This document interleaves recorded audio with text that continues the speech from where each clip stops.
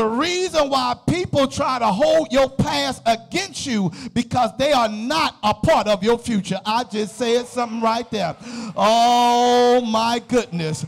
The reason why some people try to hold our past against us because they are not a part of our future. And because you are not a part of my future, you can talk about me all you please. One thing I do know I'm still blessed. Is there anybody in this house today? You can say my past is the past, but what I do know I'm still blessed.